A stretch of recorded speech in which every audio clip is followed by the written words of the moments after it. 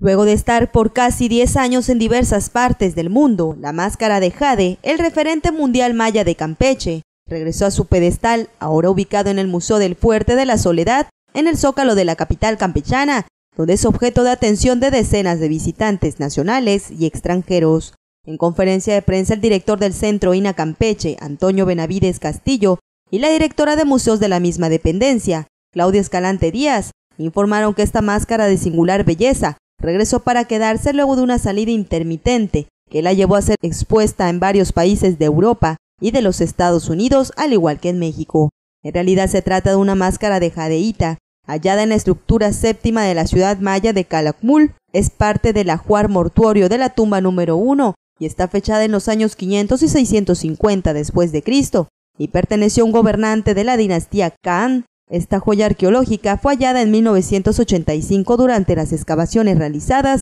por el doctor William Folam. Antonio Benavides Castillo, director del Centro INA, destacó que la importancia de esta máscara es que está elaborada con materiales que no son propios de la región de Calakmul, como es el caso de la jadeíta que proviene de Guatemala, conchas que se hallan en la costa a cientos de kilómetros de distancia, obsidiana del centro del país, entre otros, lo que indica la importancia del personaje, pero sobre todo evidencia el auge del intercambio comercial de la sociedad maya.